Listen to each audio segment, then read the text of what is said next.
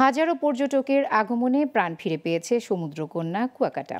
দীর্ঘ আঠারো কিলোমিটার সৈকত তারা মেতেছেন আনন্দ উল্লাসে।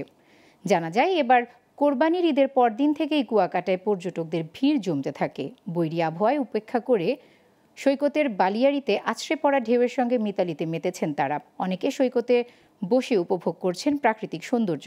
এছাড়া তিন নদীর মোহনা, লেম্বুর বন, ঝাউবাগান ও গঙ্গামতী সৈকত সহ সব পর্যটন স্পট এখন পর্যটকে মুখরিত। এদিকে বুকিং বেড়েছে আবাসিক হোটেল মোটেলে আর বিক্রি বেড়েছে পর্যটন সংশ্লিষ্ট ব্যবসা প্রতিষ্ঠানে। পর্যটকদের নিরাপত্তায় ট্যুরিস্ট পুলিশ, নৌ পুলিশ, থানা পুলিশ ও ফায়ার সার্ভিসের সদস্যরা তৎপর রয়েছে।